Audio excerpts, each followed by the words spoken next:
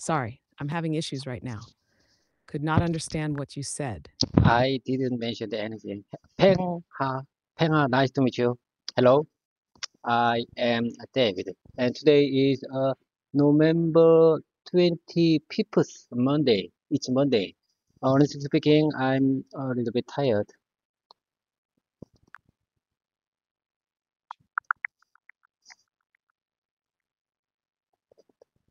Your introduction sounds polite and natural. Let me suggest a slight improvement for better flow and grammar. Hi, Peng Ha. Nice to meet you. I'm David. Today is Monday, November 25th.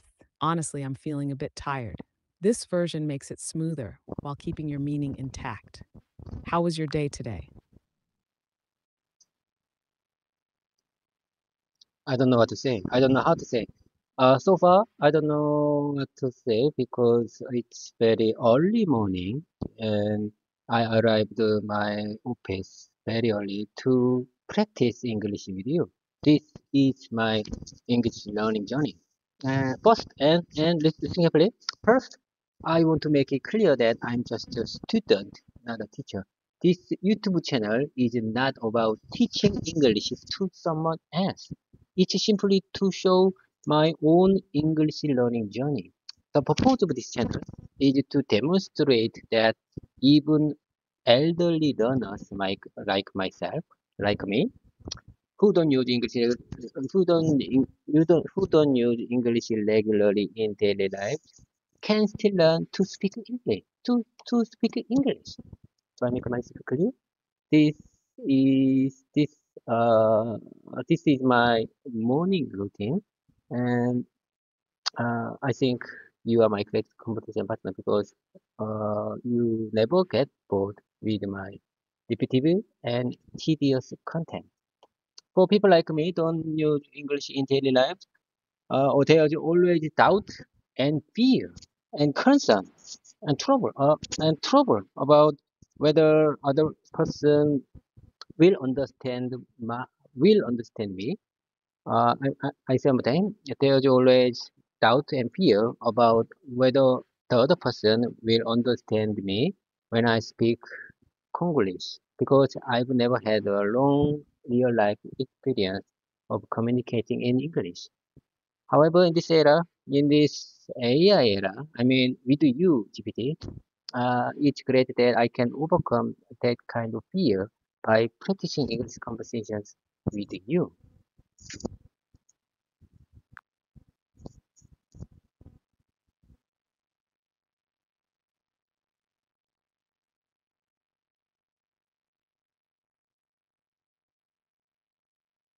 GPT, are you there? Your explanation is heartfelt and clear. I admire your dedication to improving your English. Let me help refine your sentences for smoother flow and grammar. I don't know what to say or how to say.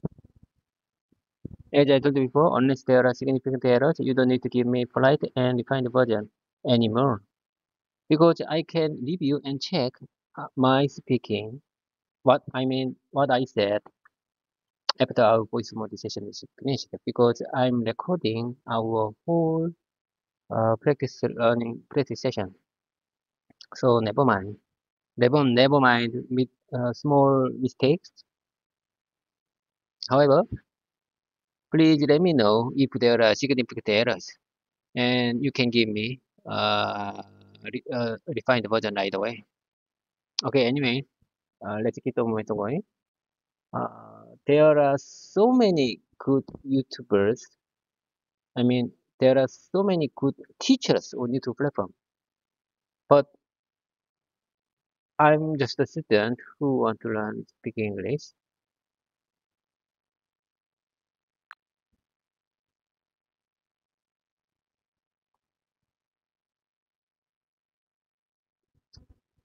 Got it? I'll focus on pointing out significant errors and let small ones slide so you can concentrate on speaking naturally. You're doing great expressing yourself. About what you just said, here's a small fix for clarity. There are so many great YouTubers and teachers on the platform, but I'm just a student learning to speak English. It's clear and understandable the way you said it, though. Let's keep going. What's next on your mind? This video shows everything. my mistakes, the moments where I'm embarrassed, or my or errors, or don't know how, uh, don't know the, the moment, the, uh, don't know, uh, the moment, don't know what to say. I think you were about to say something like, or the moments when I don't know what to say. It's already coming across well, but let me suggest a smoother continuation. This video shows everything my mistakes, the moments I feel embarrassed, or when I don't know what to say. You're being honest, which is fantastic for connecting with your audience. Want to continue from there? I mean, this video shows everything, my mistakes, the moments where I embarrassed, or don't know what to say. It's, this is not, uh, as I told you before, this is not edited version. This video is not edited version. to or to to only show when I speak well. It, this is a full video, including my all errors and challenge moment.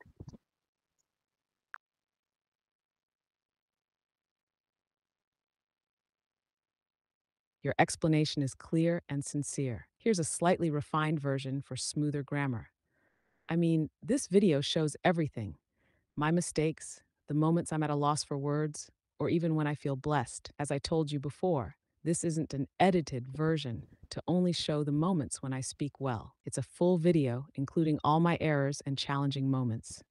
But your original version already expresses your thoughts well. Would you like to elaborate on why showing the unedited version is important to you? Would you mind saying that one more time, please? I don't understand.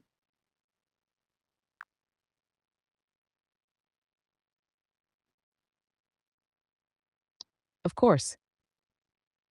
Here's what I said again slowly.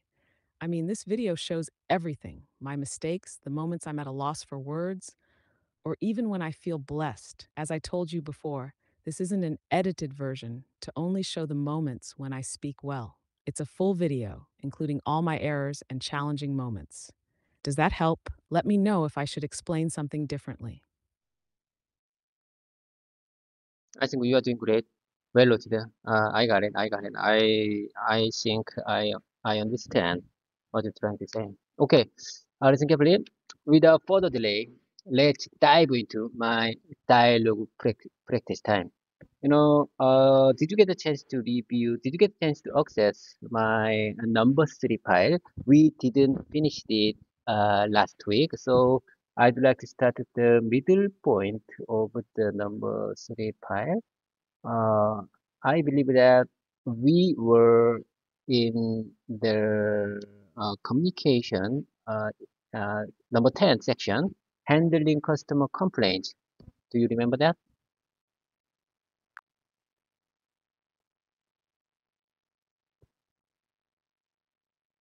I'm glad you understood. And yes, we're doing great. Let me quickly check the number three file and jump to Handling Customer Complaints, Communication Section 10 to pick up where we left off. One moment. It looks like I couldn't directly find Handling Customer Complaints, Communication Section 10 in the file. Could you clarify or remind me what was in that section? I can quickly locate the right spot if you have a detail or context. Can you find it? Let's move on to the uh, number three file. Uh, uh, and the middle point is uh, we where we left is uh, number 10 section, handling customer complaints. I'm gonna be auditor role, uh, and you take care of the rest of the role. Do you understand? Uh, are, are we all set to go? Are we all set to go? Are you ready?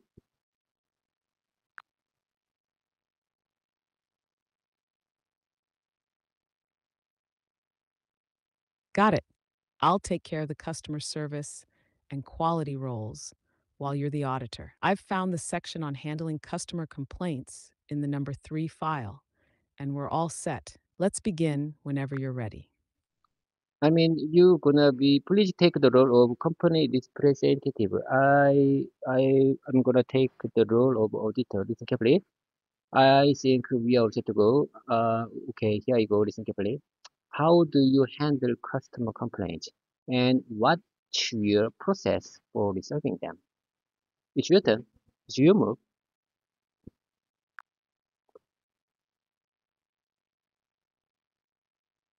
Company representative. When a customer complaint is received, we immediately log it into our system and perform a root cause analysis to identify the issue. Based on the findings, we implement corrective actions and preventive measures to avoid recurrence. We also ensure to communicate the resolution steps clearly with the customer and follow up to confirm their satisfaction. Auditor, do you have any follow up questions? Can you show me a recent case and how it was resolved? Can you show me, I say one time, for my repetition, uh, I say one time, can you show me a recent case and how it was resolved?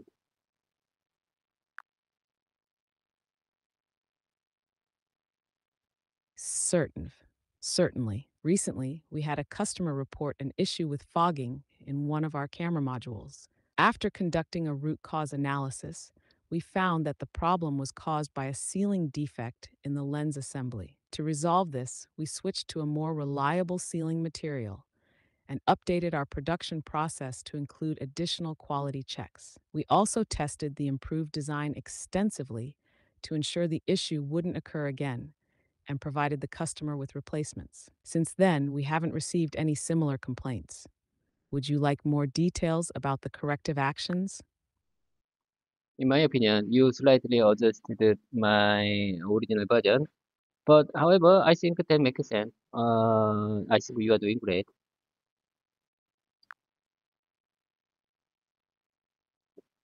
Thank you. I'm glad the adjustment made sense to you. I'll keep sticking to your style while ensuring clarity. Let's keep the practice going. What's the next question from the auditor? Okay, listen carefully. How do you ensure on-time delivery and manage logistics for your automotive camera?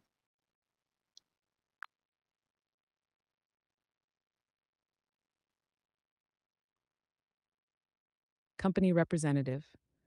We ensure on time delivery by using a real time tracking system for our supply chain and maintaining close communication with our logistics partners. This helps us address any potential delays quickly. Additionally, we keep a buffer stock of critical components to prevent disruptions. For managing logistics, we use a dedicated team to oversee shipping schedules and handle customs processes, ensuring smooth and timely delivery to customers.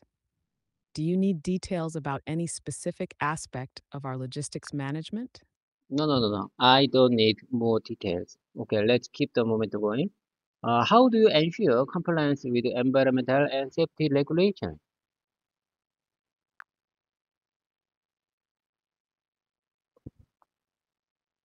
Company, we ensure compliance with environmental and safety regulations by strictly following industry standards such as RoHS and REACH. Our internal audit team regularly reviews our processes and we conduct training sessions to keep employees informed about regulatory updates. Additionally, we perform regular environmental impact assessments and have policies in place to minimize waste and energy usage in production. All findings are documented and shared with the relevant authorities to maintain transparency. Is there any specific area of compliance you'd like me to elaborate on? No, but ho- however, I have a question. Can you provide records of your latest environmental compliance audit?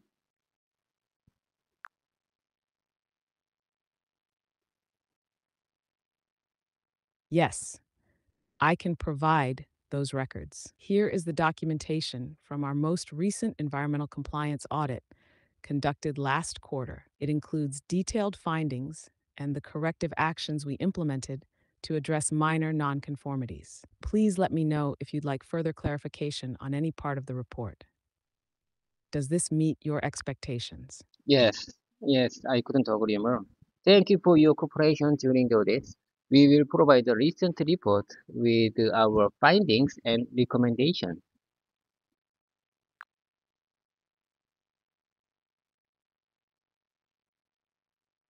Thank you.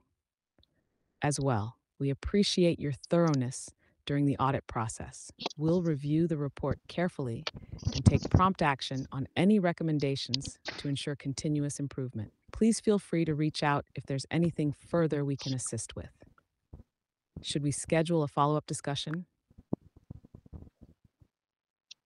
No, no, no. We did we uh, do we don't have uh, more schedule to follow to make follow up uh, arrangement. Uh, however, GPT carefully. I'd like to uh, I'd like to I'd like to go through again this dialogue uh, uh, uh, for switch with switch version, switched version. I mean, I'd like to switch our role. I gonna I gonna be I I gonna be company representative and you're gonna be the auditor. Uh, can you do that for me again?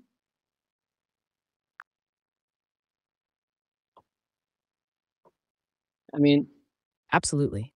Let's switch roles. You'll be the company representative, and I'll take on the auditor role. I'm ready whenever you are.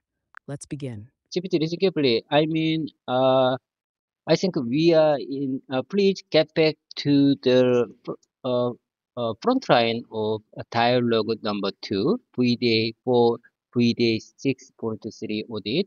Uh, I mean, I want to go through one more time. Uh, with uh, with uh, switch switch our role. Uh, uh, switch with uh, switching our role. I wanna be take the role of uh, the company representative, and you wanna you take care of the auditor role. Uh, do you uh, do you do you understand?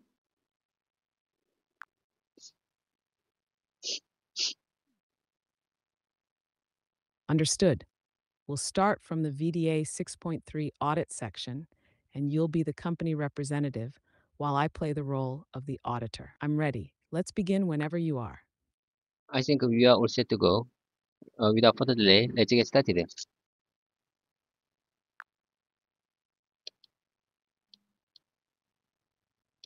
Good morning. Today, we will be conducting a VDA 6.3 process audit to evaluate your compliance with automotive industry standards. Are you ready to begin? Good morning. Of course, certainly, yes. We are. I think we are prepared. Please let us know how would you like to proceed. Please let us know how would you like to proceed. Please let us know how would you like to proceed.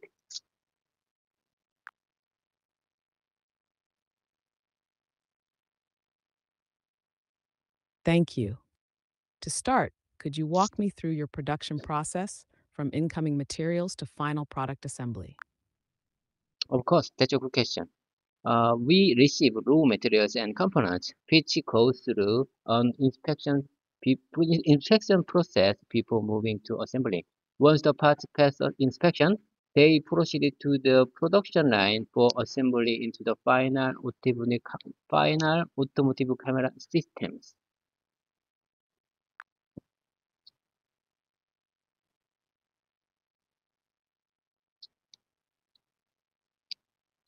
Thank you for the explanation. How do you ensure the quality of your automotive cameras during the manufacturing process? We conduct the in-process inspection at critical stages. Each unit is tested for functionality, image quality, and durability test durability before it moves to the next phase.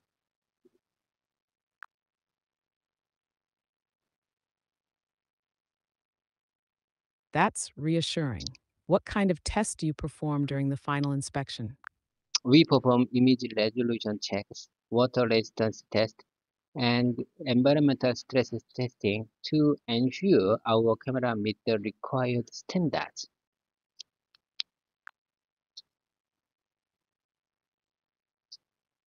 That sounds thorough. How do you handle nonconformities that arise during production? When a non-conformity is detected, uh, that's good question. Uh. When a non-conformity is detected, we initiate a root cause. We initiate a root cause analysis. Depending on the severity, we either rework the product or scrap it. We also implement corrective actions to prevent recurrence.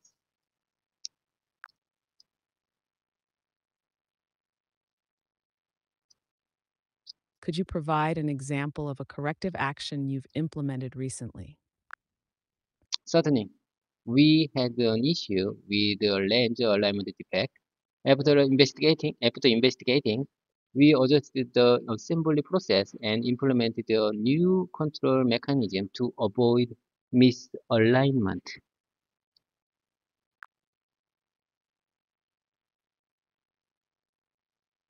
That's a great example. How do you manage your suppliers to ensure they meet the necessary quality standards? We conduct regular supplier audits and evaluate their performance based on the based on quality, delivery, and rep- uh, uh, responsiveness. We also require them to follow the same automotive standards such as IATF 16949.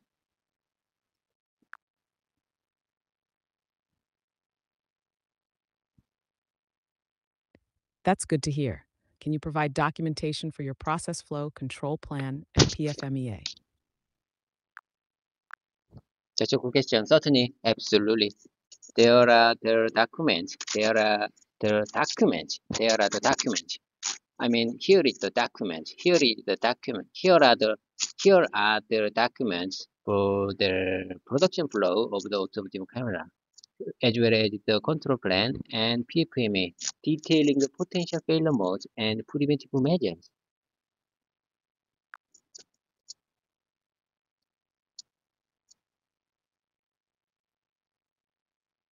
Audio, thank you for providing the documents. How often do you review and update these documents?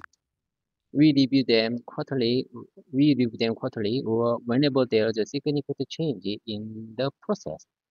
I say on time for my repetition. We review them quarterly or whenever there is a significant change in the process.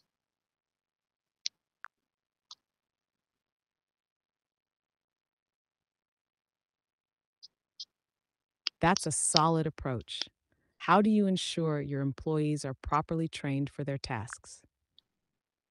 We have a structured training program that includes both initial and ongoing training. Employees must pass assessments before operating machinery or performing critical tasks.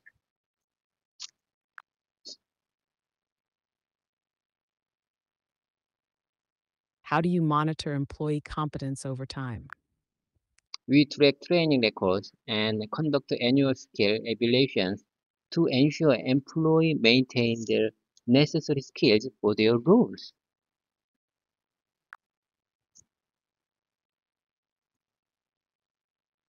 Very good. How do you identify and manage risks in your production process? We use uh, we use risk analysis tools like PFMEA and conduct regular risk assessments. Any potential risks are mitigated through preventing preventive actions and continuous monitoring.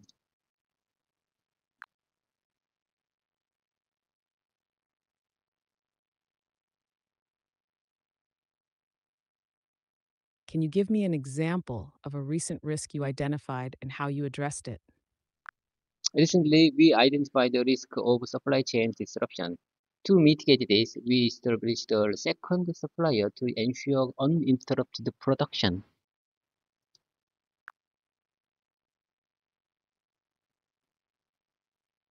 Yeah, that's a smart strategy. What measures have you implemented for continuous improvement in your processes? That's a good question. We regularly conduct continuous improvement to identify areas for, for process optimization. Additionally, we get feedback from the production floor to implement uh, implement improvements in real time.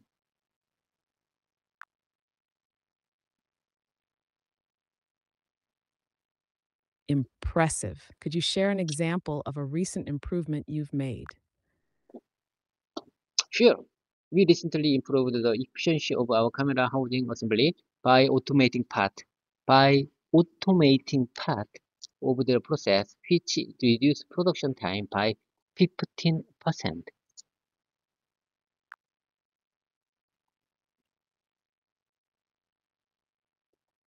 That's a significant improvement. How do you handle customer complaints and what is your process for resolving them? When a customer complaint is received, when a customer complaint is received, we immediately log it into our system, perform a root cause analysis, and implement corrective actions. We also follow up with the customer to ensure satisfaction.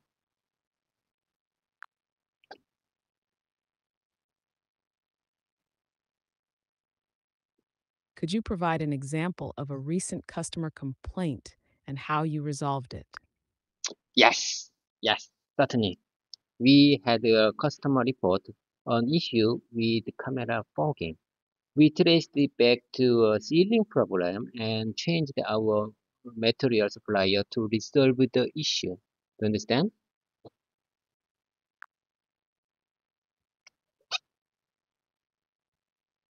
Yes, I understand. That's a good resolution. Thank you for explaining your process and for your cooperation during this audit. We'll provide a detailed report with our findings and recommendations shortly. Would you mind saying the time, please? I don't understand.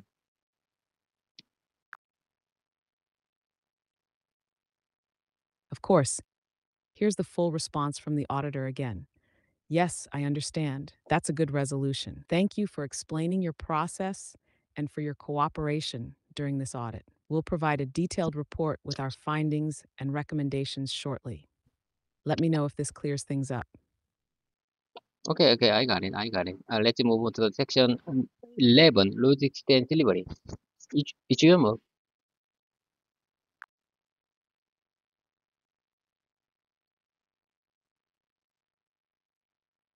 How do you ensure on-time delivery and manage logistics for your automotive cameras?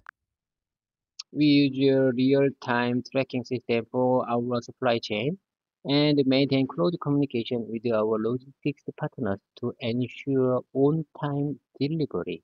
We also have buffer stock to handle any unexpected delays.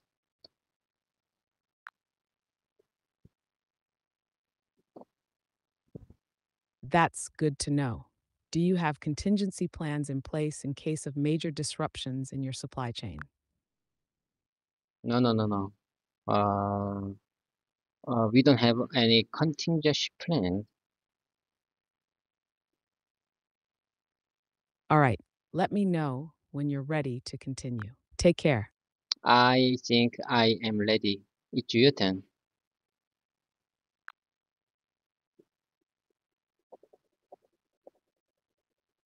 Great.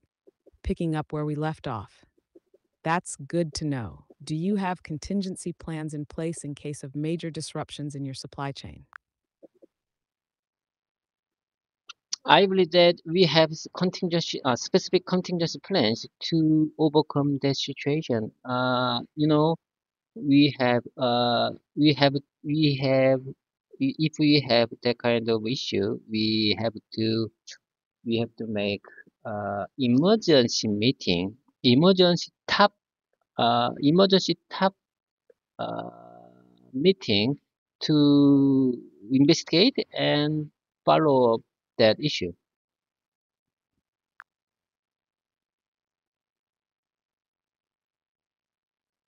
That makes sense. Holding an emergency meeting is a solid approach. Can you provide an example of how your contingency plan was used during a past disruption? As you can see, we have uh, many uh, meeting minutes for that kind of uh, uh, im- im- i- that kind of issue. I see. Could you share one specific instance where your contingency plan helped resolve a major issue? For example, how did it impact delivery or production? I believe that uh, we have no we have no uh, specific uh, delays uh, to that that messed up our our messed up with our customers' expectations.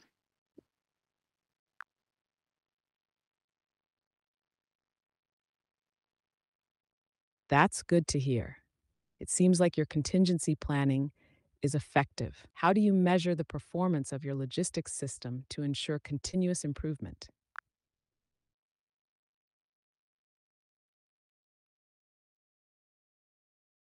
Honestly speaking, I don't know what to say.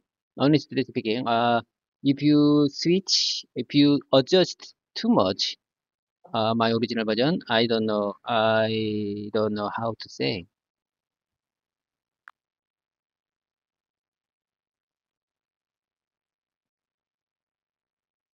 Got it. I'll stick closely to what you say without making big adjustments. Let's try again and feel free to continue as you feel comfortable. Would you like to answer the last question again or should we move forward? I think we need to move forward. Uh, section number 12.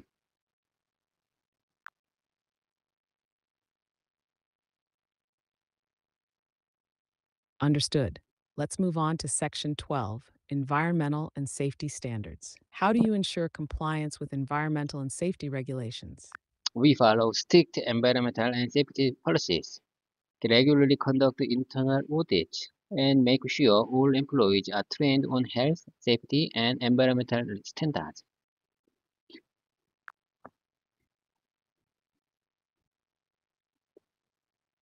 That's reassuring. Can you provide records of your latest environmental compliance audit? Yes, here is the documentation from our most recent audit, along with our action plans for any findings.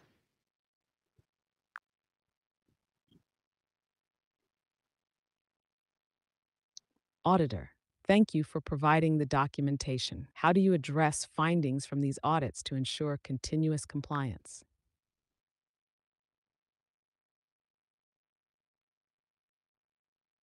Would you mind saying them time, please?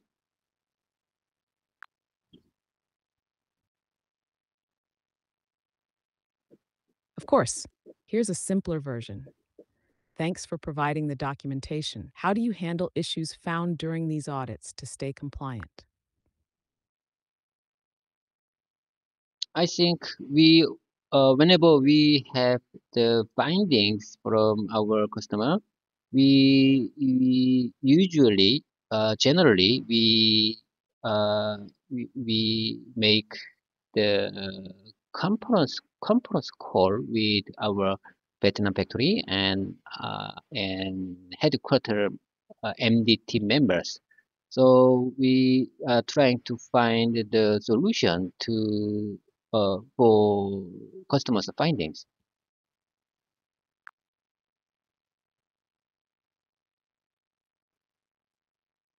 That's a thorough approach. It's good to see you involve multiple teams to address findings effectively. Do you track the effectiveness of the solutions you implement? Yes, of course. We have specific uh, tracking system, document tracking system uh, based on the PLM system. Uh, we documented all we all, we all documented all necessary necessary improvements or um, process process foundation onto the PLM system.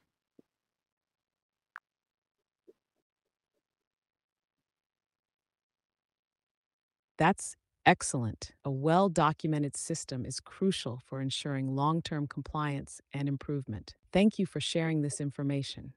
Would you like to move to the next section? Yes. Let's move on to the next section. Section number 13, closing the audit. It, it, your move.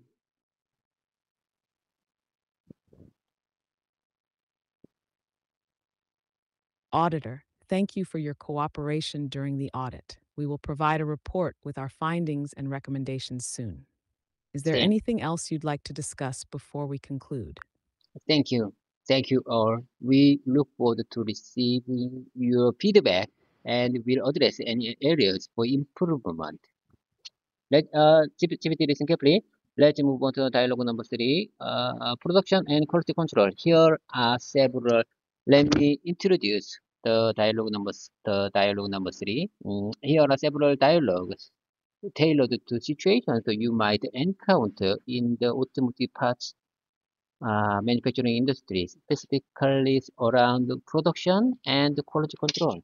Uh, let's move on to the dialogue session. And uh, how about this version? Uh, there are many roles in this dialogue, so I'd like to I'd like to proceed with you uh, one by one method. So if I do the first line, you go next, and I go next. Uh, do you understand? Uh, we can't we can't manage the for we can't manage uh take just one role for this dialogue because because there are many many rules in this dialogue, so we may switch it step by step to understand.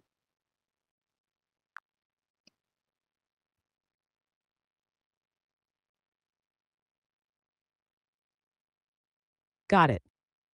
For this dialogue with multiple roles, we'll alternate step by step. You'll take the first part, then I'll continue, and we'll switch as we go. Let's dive into the production and quality control dialogue whenever you're ready.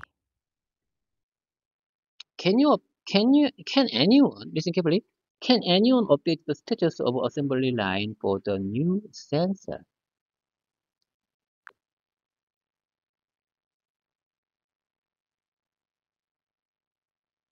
Operator, the assembly line is operational, and initial testing shows that all units meet our performance specifications. However, we are monitoring a slight delay in component delivery that might affect our output next week.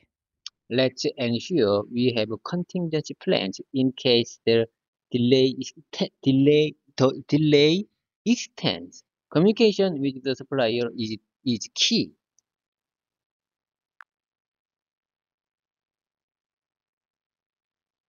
Agreed. Let's coordinate with the purchasing team to confirm the delivery timeline and explore alternative suppliers if needed. I got it. I got it. Let's move on to the quality check in, inquiry. Uh, have we uh, have we completed the quality checks for batch 57 of the range assembly uh, assemblies?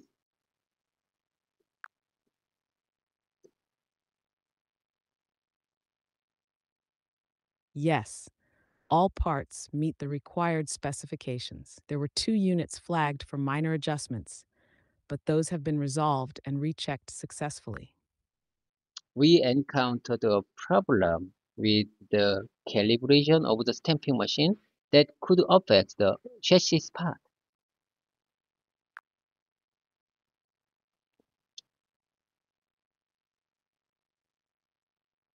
Hannon, I've adjusted the calibration settings, and we need to run a few tests to confirm the issue is fixed. Should we schedule downtime for the machine to avoid disruptions? Yes, certainly. Let's let's schedule it during the lower production hours tonight. Keep me updated on the progress.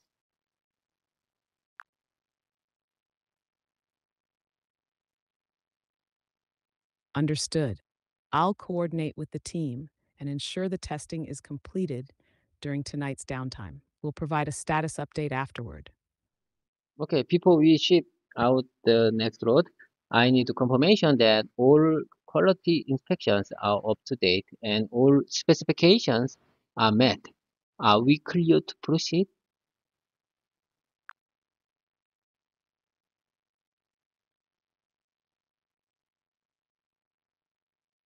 All inspections are complete, and every unit in this lot has passed. We are clear to proceed with the shipment. Okay, let's move on to dialogue number four, quality issues. Uh, uh, in this, in that case, I mean, in this section, in this dialogue, uh, there are many rules. So, uh, I'd like to go through with you step by with step by step method uh, again. So I go first, you go next, and then and then I go next. Uh, do you understand? Uh, know, I would like to start the uh, quality manager first. Listen carefully. Uh, we will receive several reports about the fogging issue in our cameras. Has the root cause analysis been completed? I say on time, has the root cause analysis been completed? Has the root cause analysis, uh, said, uh, apologies for my bad pronunciation. Oh my God, oh my God. Has the root cause analysis been completed?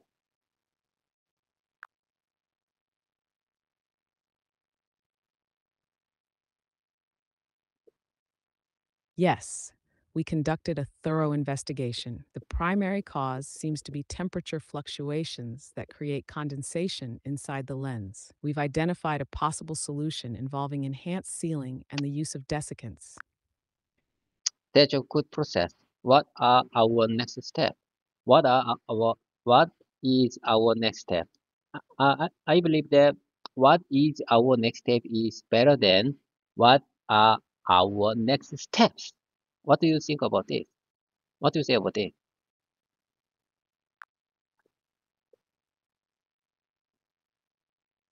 Both what are our next steps and what is our next step are correct, but they slightly differ in tone. What is our next step sounds more focused, as if you're asking for the immediate action to take next.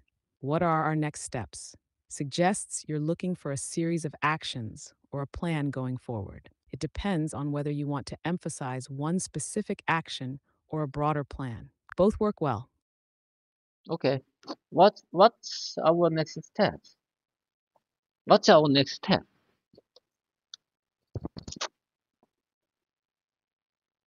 Engineer, we're planning to run controlled environment tests to ensure the new measures are effective in preventing fogging. Once validated, we'll update the production process to include these improvements. Okay, okay, I got it, I got it. We've received a complaint from a customer about imaging, image blurring, image blurring under high humidity conditions. What actions can can we take to address this issue?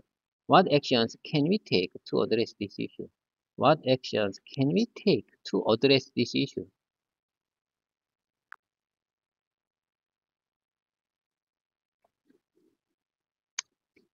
It seems related to moisture ingress. We're working on an improved waterproofing design and evaluating the application of a protective coating to the lens to repel moisture. How long will it take to implement these changes? How long will it take to implement these changes? How long it will take? How long it will take? How long it will take? How long it will take? How long it will take to implement these changes?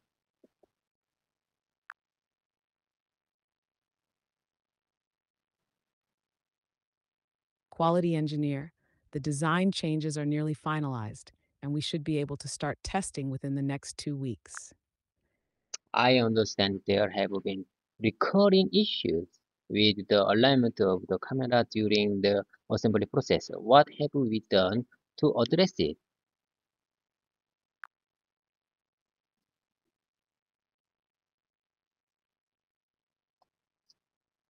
We've implemented a new alignment fixture to reduce variability and retrained operators on the correct setup procedures. Have we, have you seen any improvements in defect rates since these changes were made? Ha- have you seen any improvements in defect rates since these changes were made?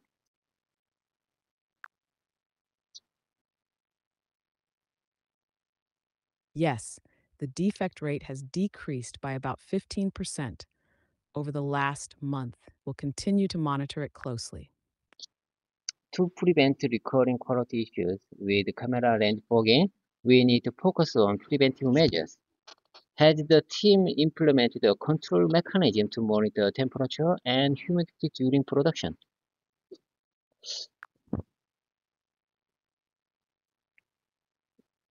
Yes, we've installed new monitoring systems. These sensors alert us if conditions exceed the threshold, allowing us to take corrective actions before any issues arise. Mm, okay, okay, I got it, I got it. Got it?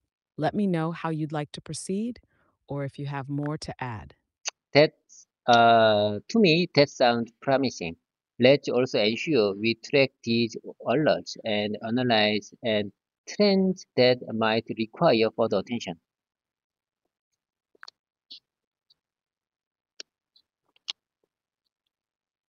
That's that's a great idea. We'll set up a system to track the alerts and compile data for trend analysis. This should help us identify potential issues earlier.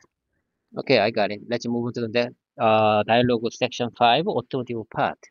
Here are several examples of English conversations and phrases that might come up in the automobile parts manufacturing industry. Basically, uh, there are many roles in this dialogue session, so uh, I would like to uh, take the step-by-step method with you. Uh, I go first, you go next. Do you understand? Uh, listen. I would like to take the supervisor role first. Uh, how is the production line running today? How is the production line running today? You move.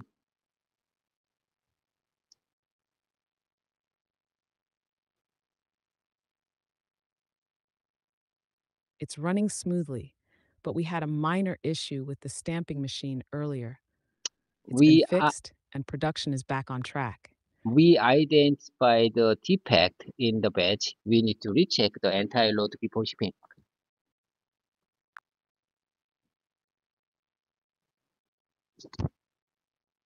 End. Understood. I'll ensure the entire lot is rechecked immediately and provide an updated report once it's complete. Have we completed? Have we? Have you? Have you completed the quality inspection for the latest batch?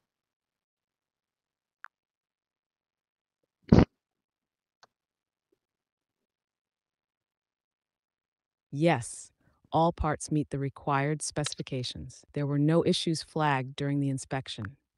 When we when is the next shipment of raw material to expect to arrive? Uh, let me ask one more time. Let me ask you one more time. When is the next shipment of raw materials expected to arrive?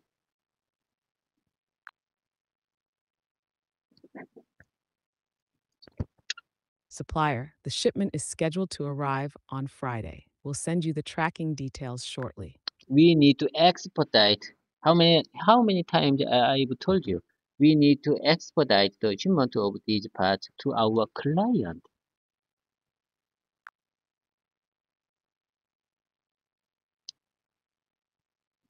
Shipping department will prioritize this order and ensure it goes out today. I'll confirm once it's dispatched. We need to modify the design to reduce the weight of the component.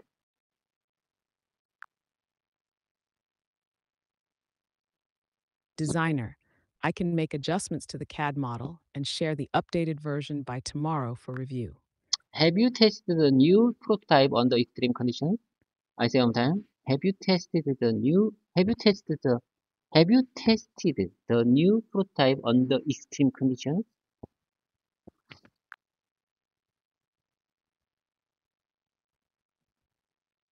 Engineer, yes, the prototype has passed all stress tests and meets our durability standards. The CNC machine needs maintenance. It's been awaiting.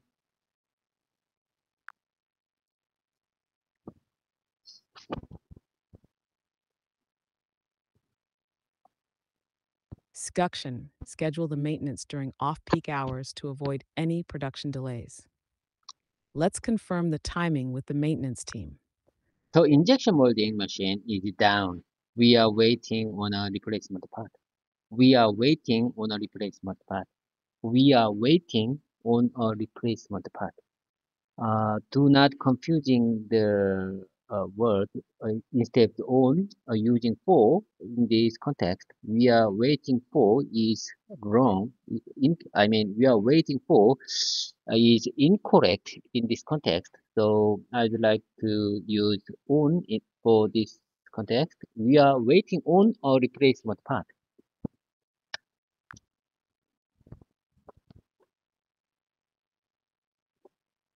You're absolutely correct. In this context, waiting on is the better choice. It emphasizes that you're depending on someone or something to complete a task or deliver the part. Waiting for would also be grammatically correct, but might imply a more passive stance. Waiting on has a slight nuance of actively expecting the part, which fits better here. Well done. Okay, how long it will take to get the machine back online? And uh, this, never mind. This is just uh, uh, this is just uh, uh, sample sample test. Uh, let let me take a second. Let me take a second. I'm sorry. I'm sorry. I'm uh, I'm just back. I I just received uh the call uh, from my family, uh, it, it was a little, a little bit important. So I had to receive that call. Uh, never mind. Okay, let's keep going right away. How long it will take to get the machine back online is the just simple, just example question. Uh, so never mind. Let's keep the moment away. Our client in Germany needs a quote for 10 10,000 units of the new part.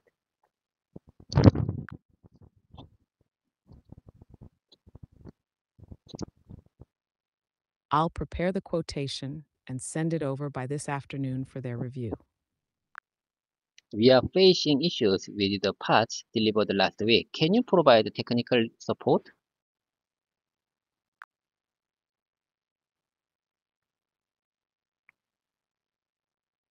Of course. We'll send a technician to your facility tomorrow to assist with the issue. Uh, would you like to say, would you, would you mind saying that one time, please? Uh, uh, I mean, can you speak a little bit slowly?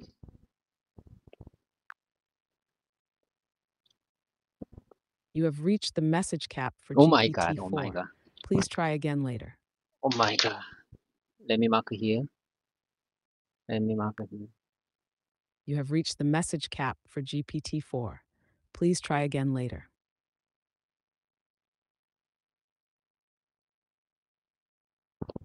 Today is November 21st, uh, 2024. Okay.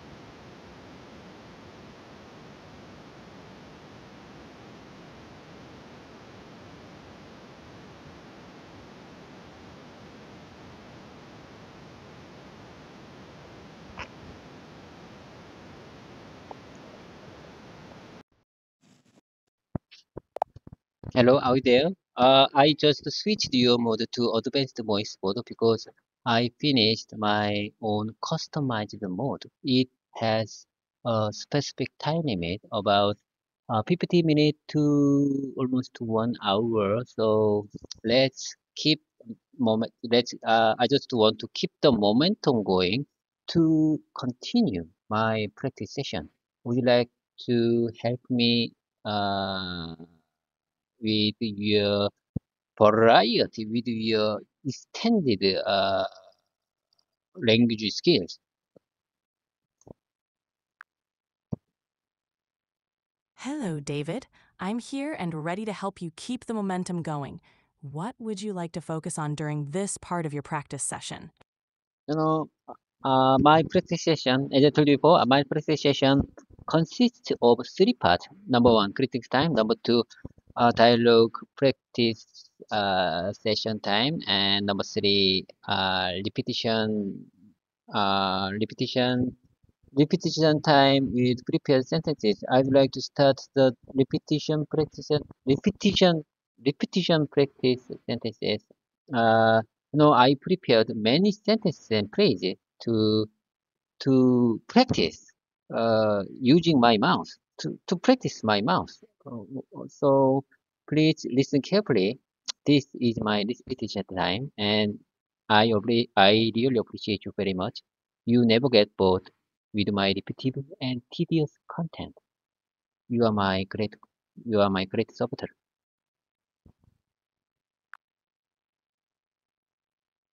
Absolutely, David. I'm ready for your repetition time. Please go ahead with your first sentence and I'll listen carefully. The quote you are referring to is a reminder that while we shouldn't judge others by their appearance, people often form opinions about us based on how we look. It's a famous concept, often summarized as don't judge a book by its cover. But, however, but uh, remember that our uh, remember that others judge judge you. Uh, remember that. Remember, just remember that the others might judge you by yours. This highlights the importance of appearance in professional settings, even though it shouldn't be the sole basis for judgment. Do you understand? Great job, David. Here's a smoother version. The quote you're referring to is a reminder that while we shouldn't judge others by their appearance, people often form opinions about us based on how we look. It's a famous concept often summarized as don't judge a book by its cover. However, remember that others might judge you by yours. This highlights the importance of appearance in professional settings, even though it shouldn't be the sole basis for judgment. How did that feel? Would you like to repeat it or move on to the next sentence?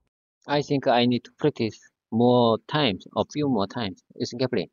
The quote you are referring to is a reminder that while you while we shouldn't judge others by their appearance, people often form opinions about us based on how we look. It's a famous concept often summarized as don't judge a book by its cover. But remember that others might judge you by yours. This highlights the importance of appearance in professional setting, settings, even though it shouldn't be the sole basis for judgment. That was much smoother, David. Let's go through it again to reinforce it. The quote you're referring to is a reminder that while we shouldn't judge others by their appearance, people often form opinions about us based on how we look. It's a famous concept often summarized as don't judge a book by its cover. However, remember that others might judge you by yours. This highlights the importance of appearance in professional settings, even though it shouldn't be the sole basis for judgment. Would you like to go through it one more time, or do you have another sentence ready? I think you are doing great. But honestly speaking, I'm still a bit uh, weird with this paragraph. I, I, I mean, you know, as I told you before, my memory is getting worse, so I couldn't remember whole, whole, whole paragraph. However, I think I can get the main point or the or main point and the context, uh, streamline context of this uh, paragraph.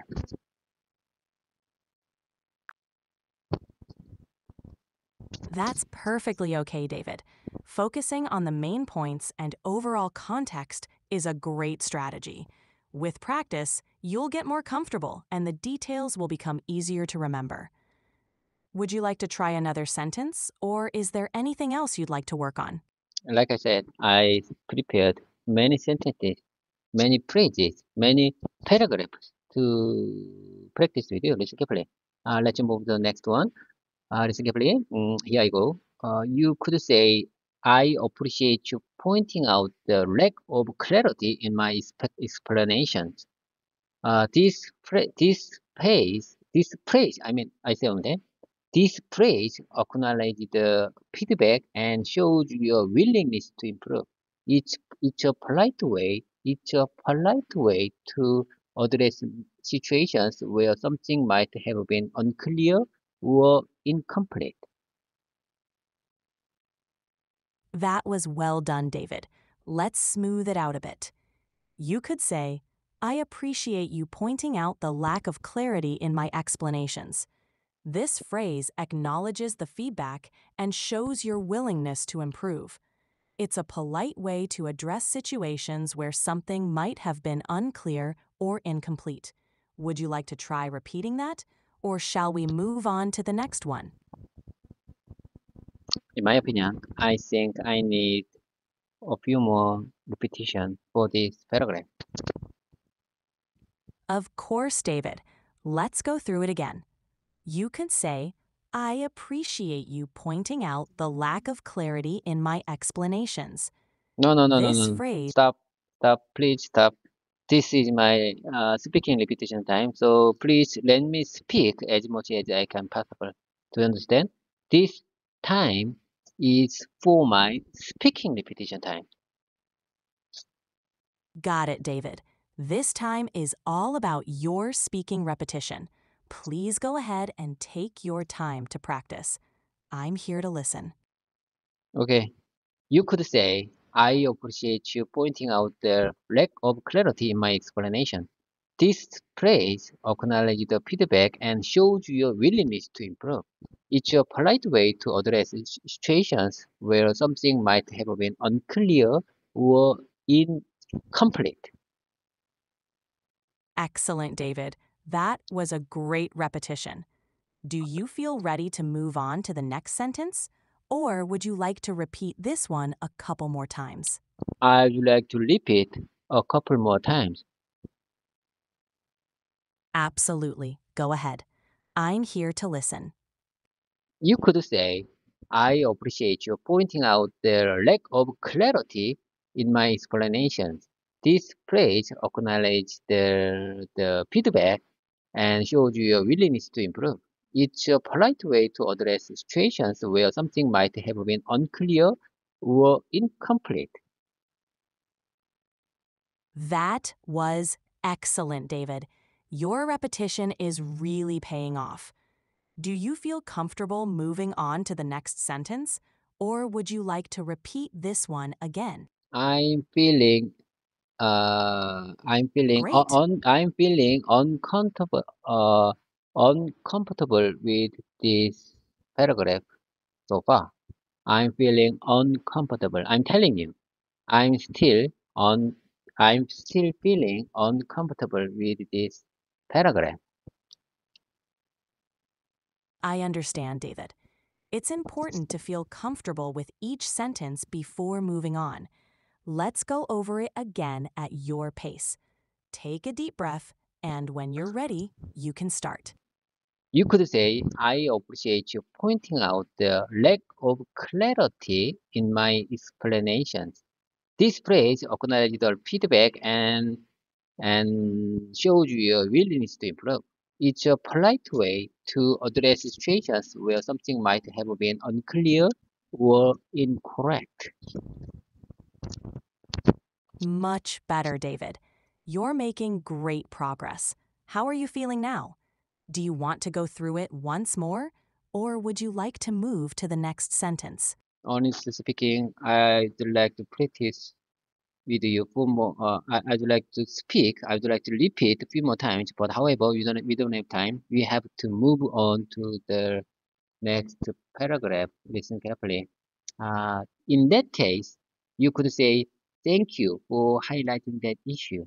Highlighting the I say one time. Thank you for highlighting the issue. Or if it's about something that wasn't fully ex- explained, you could say Thank you for pointing out the lack of clarity in my explanation. This phrase acknowledges that the explanation was insufficient without labeling it as a mistake. Do you understand? Do you understand this paragraph? Yes, I understand. That was a good effort, David. Here's a smoother version for clarity. In that case, you could say, Thank you for highlighting the issue. Or, if it's about something that wasn't fully explained, you could say, Thank you for pointing out the lack of clarity in my explanations. This phrase acknowledges that the explanation was insufficient without labeling it as a mistake. Do you want to try Can you repeating this? provide can you provide the dictionary dictionary of acknowledge? Certainly. Acknowledge means to recognize or admit the existence, truth, or fact of something. In the context of your sentence, when you say, this phrase acknowledges the feedback, it means the phrase is recognizing or showing awareness of the feedback given. It's about acknowledging the input without necessarily agreeing or disagreeing with it. Does that help clarify? If you don't mind, I just want to hear one more time. Of course, David. Here it is again. Acknowledge means to recognize or admit the existence, truth, or fact of something. In your sentence, it seems like the audio might have cut off. Let me repeat that for you. Acknowledge means to recognize or admit the existence, truth, or fact of something. In your sentence, when you say, this phrase acknowledges the feedback, it means the phrase is recognizing or showing awareness of the feedback given. It's about acknowledging the input without necessarily agreeing or disagreeing with it. Does that help clarify? Okay, okay. I got it. I got it. Uh, I think I understand. Okay, let, let's move on to the next paragraph. Uh, here I go. I think we are all set to go. Uh, uh, listen carefully. Today is Wednesday, November 20th. I'm really glad to start the day with you. Winter is coming in Korea and it feels really cold outside. Actually, I caught a cold last week, but I took some good medicine for about four days and I think I'm getting better. Anyway, let's keep the momentum going. I believe this kind of routine practice is real. Uh, this kind of routine practice is really helpful uh, for beginners like me.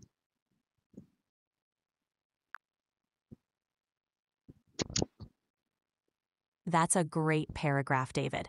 Your routine practice is definitely paying off. How about we go through it once more to reinforce it? When you're ready, just start with Today is Wednesday, November 20th. No, no, no, no. Let's move to the next one. I think uh, it's enough. Let's move to the next one. If you, if you, if I got your point correctly, uh, thank you for your feedback on what I said earlier. If I got your point correctly, if I got, I got, if I got your point, if I got your point correctly, if I got, if I got your point correctly, thank you for your feedback on I, on what I said earlier. That was a good attempt, David. Here's a smoother version. If I got your point correctly, thank you for your feedback on what I said earlier. Would you like to repeat this version, or do you have another sentence ready? Could, could you please give me Korean translation for this sentence? Certainly. The Korean translation would be 제 요점을 정확히 이해하셨다면 제가 아까 말한 것에 대한 피드백에 감사드립니다. One more time, please. Sure, here it is again. 제 요점을 정확히 이해하셨다면 제가 아까 말한 것에 대한 피드백에 감사드립니다. I'm not sure about that. I'm not sure about that. Listen carefully. I would like to share with you my sentence one more time. If I got your point correctly, thank you for your feedback on what I said earlier. You did great, David. Your pronunciation was clear. Would you like to practice it again or move on to another sentence? Please give me Korean translation one more time for this sentence. If I got your point correctly, thank you for your feedback on what I said earlier. The Korean translation would be 제 요점을 정확히 이해하셨다면 제가 아까 말한 것에 대한 피드백에 감사드립니다. I said, if I got your point correctly. Do you understand? 제 Yes, I understand. Would you like to practice the sentence again? No, no, no, no, Or- no, no, no, no. Please give me Korean translation one more time. Uh, listen carefully. If I got your point correctly, thank you for your feedback on on what I said earlier. What to say about this? The Korean translation would be 제 요점을 정확히 이해하셨다면 제가 아까 말한 것에 대한 피드백에 감사드립니다. Honestly speaking, I'm not sure about that. Honestly speaking, I'm not sure about that. However, Mm, let's keep the momentum going. Uh, I will check and review uh, this uh, for this sentence one more time with your uh, text version. With your uh, uh, I would like to review again in text form with uh, uh, without uh, conversational mode. That sounds like a good plan, David. Feel free to review it in text form, and we can discuss any questions or clarifications in our next session. Looking forward to it. Okay, okay. Let's keep the momentum going. Let's keep the momentum going. Uh, I'd like to share with you next sentence. Listen carefully. When uh, when I used to practice speaking English a few months ago, 30 minutes or even an hour felt very long. But now, even one hour, you want even one hour and 30 minutes, I mean 90 minutes feels short. I have so much to talk about. I have so much to talk about. I have so much to talk about in English.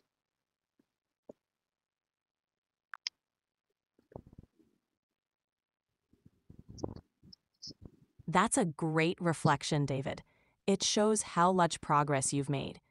The more you practice, the more you have to share in English. Would you like to keep practicing, or is there anything If else you'd you like to don't discuss? mind, if you don't mind, please let me hear one more time. What you said a moment ago. Sure, here's what I said. That's a great reflection, David. It shows how much progress you've made. The more you practice, the more you have to share in English. Would you like to keep practicing, or is there anything else you'd like to discuss? So you mean I would say the more I practice in English, the more I have share with you. Yes, that's correct. You can say, the more I practice in English, the more I have to share with you. It's a great way to express how your increasing practice leads to more things to talk about. Okay, bookmark here. Bookmark here. I would like to review this part again uh, after our voice mode session is finished in text form.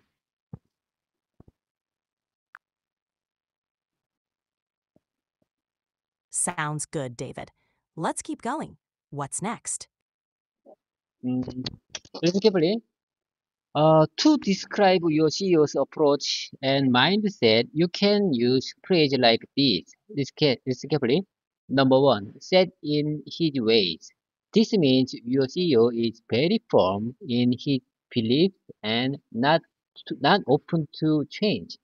For example, you could say our CEO is really set in his way when it when it comes to budget strategy. Number two, stubborn. This describes someone who refused to change their mind, even if even if it would would be, if, even if it would benefit the company. For instance, he is quite stubborn about keeping costs keeping costs low, even when it hurts the project. Number three, uh, reluctant to, reluctant to, to change. It, this means he is unwilling to adopt uh, or consider new strategies. You could say our CEO is reluctant to change his approach, even though we've raised concerns. Number four, rigid mindset. This suggests that the CEO thinking is CEO's thinking is inflexible, inflexible and strict. For example, he is he has a very rigid mindset when it comes to investing in talent. I mean, new hires. Those are great phrases, David. They accurately describe different aspects of a CEO's approach and mindset. Would you like to practice using these in sentences, or do you have another topic in mind? I, think I need to practice um one more time with this paragraph. Listen carefully. To, to describe your CEO's approach and mindset, you can use phrase like this. Number one, set in his ways. This means your CEO is very firm in his beliefs and not open to change. Uh, for example, you could say our CEO is really set in his ways when it comes to budget strategy. Number two, stubborn. This describes someone who refuses to change their mind even if it would benefit the company. For instance, he he is quite stubborn about keeping cost keep, keeping costs low uh, even when it hurts the pro even when it hurts when even when even when it hurts the project. Reluctant to change. Number three, reluctant to change. This means he is unwilling to unwilling to adopt or consider new strategies. You could say our CEO is reluctant to change in uh, reluctant to change his approach, even though we've raised concern. Even though we've raised concern. Uh, number four, rigid mindset. This suggests that the CEO thinking is CEO's thinking is inflexible and strict. For example, he has a very rigid mindset when it when it comes to investigate investing in talent. Uh. He has a very rigid mindset when it comes to investing in talent. Great job, David. Your pronunciation is clear, and you handled those phrases well. How do you feel about them? Would you like to practice more, or is there anything else you'd like to focus on? Uh, let me mark here. Let me mark here today's today's date. Let me mark here today's date. Today's date because I'd like to move on to the um, random keyword time. Listen carefully. Mm, about 20, 25. Okay. Okay, let's keep the momentum going. And I'd like to start the uh, random, uh, random uh, pre-talking time, pre-talking time with random keywords. Listen carefully. I am the. I think it's better to choose random keyword by myself because you always choose uh, a boring or repetitive uh, keywords for our time. Do you understand? Do you agree with that?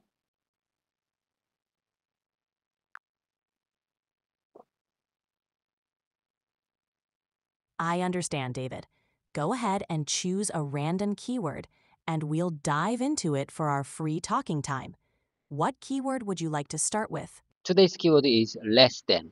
Less than is very powerful phrase. I think less than is very powerful phrase uh, when I have to explain something. Uh, listen carefully. Uh, for example, uh, we have to we have to automate we have to automate automate the part to improve our efficiency in production less than 15%.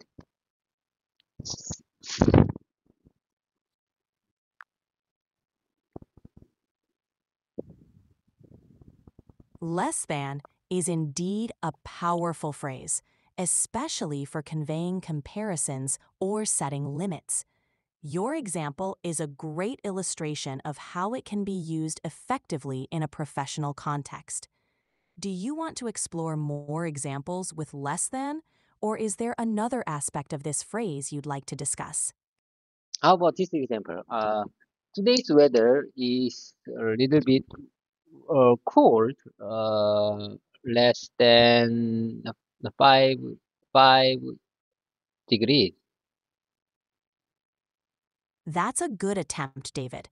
To make it a bit clearer, you could say, Today's weather is a bit cold, less than 5 degrees. This implies that the temperature is below 5 degrees. Would you like to try another example? Would you, would you mind saying that one more time, please? I just I just want to hear one more time.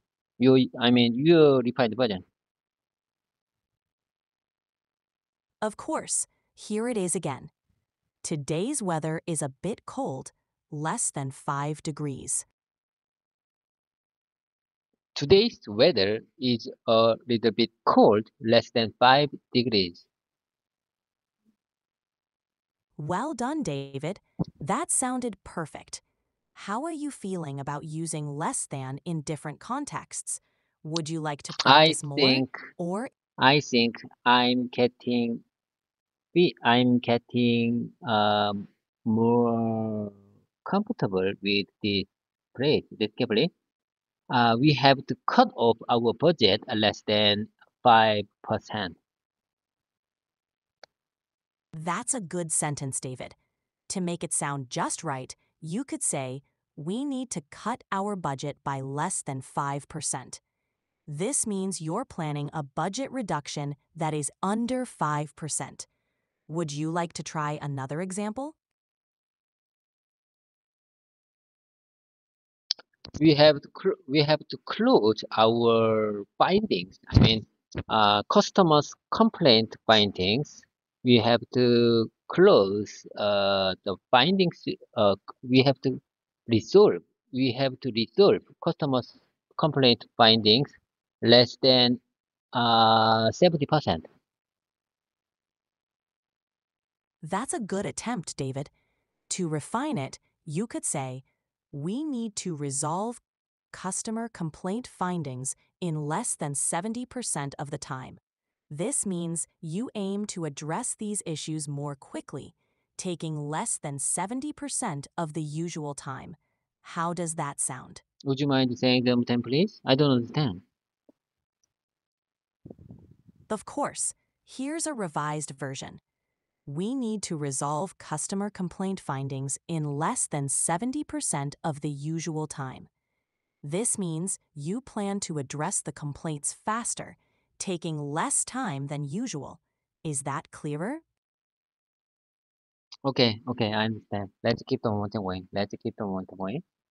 Mm, uh, GPT, please give me uh, your suggestion or recommendation examples using less than. Certainly, David. Here are a few examples. 1. Our project budget should be less than $10,000. This sets a maximum limit for the budget. 2. We aim to complete the task in less than two days. This indicates a goal to finish quickly. 3. The error rate must be less than 1%. This sets a strict quality control standard. 4. The temperature tonight will drop to less than negative 5 degrees Celsius. This describes a weather forecast. 5. Less than 20% of the team is unavailable today. This provides information about team attendance. Would you like to try using any of these examples? Or do you have another scenario in mind? In my opinion, you are my great uh, language learning software. You just gave, I think you just gave me good examples of, of uh, to use uh, the phrase let uh, less than. Okay, let's keep the momentum going. Uh, next keyword is uh, compared to. Do you understand? Uh, in my opinion, uh, today's weather is harsh compared to last week.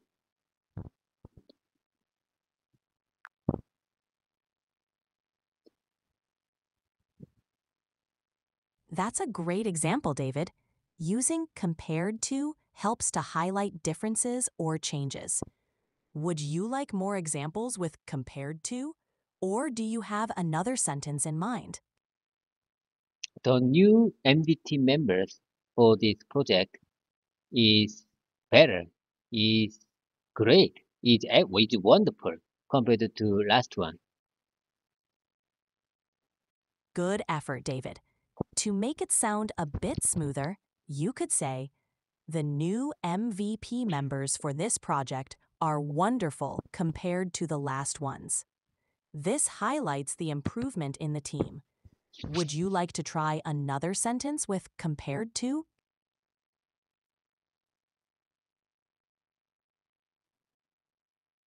Mm, way I see it, the overall project, uh, the overall uh, project process is great compared to uh, last project. Nicely done. Here's a polished version. The overall project process is great compared to the last project. This emphasizes the improvement in the current project's process. Would you like to continue with more examples? Or do you have I another mean, keyword in mind? I, I, I mean, I just want to say mm, the progress, the progress uh, in this uh, pro progress for this month is more uh, more great than compared to last month. I mean, uh, the achievement is bigger than uh, compared to last last month. How can I please GPT please help me to express this situation uh, more natural or common or uh, natural more natural and common in English.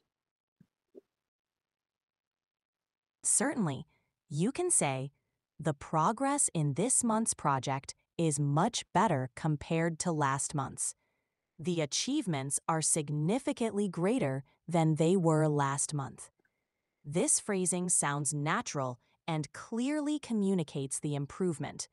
Would you like to try saying it? So you mean I can say I would say the achievement is significant.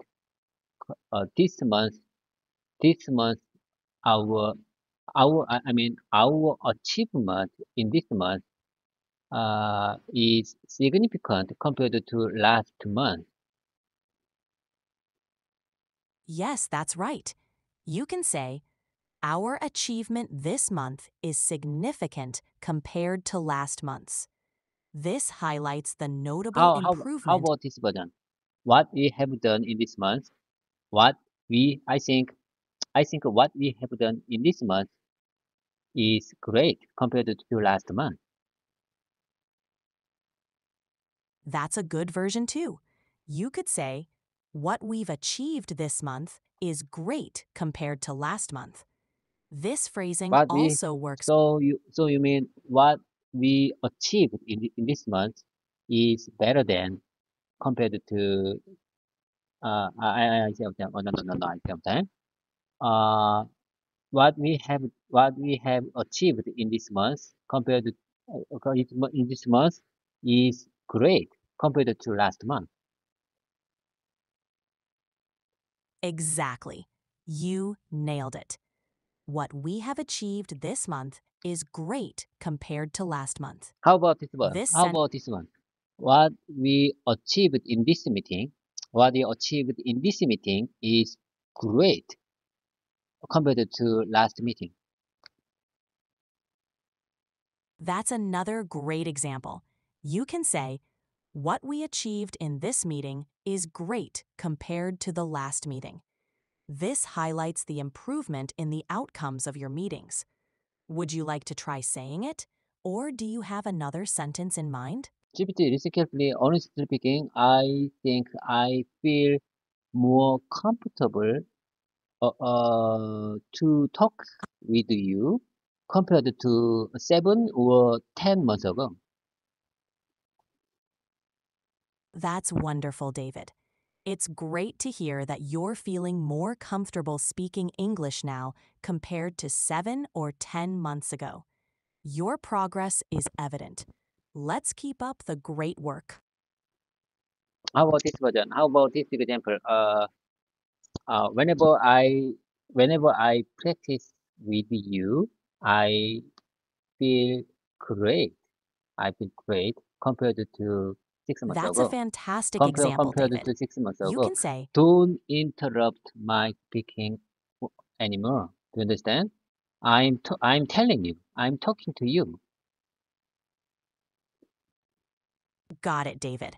I won't interrupt your speaking. Please go ahead whenever you're ready. I so you'd say I won't I won't interrupt your speaking anymore.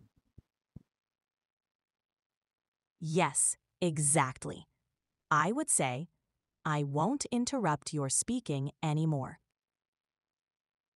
I think it's great. I can cut off. I can interrupt your speaking in this advanced voice mode. It's wonderful. It's uh, it's a wonderful uh, it's, it, I think it's very wonderful function uh, in communicating with AI, uh, interrupting the uh, interrupting the other interrupting the uh, AI speaking without hold button.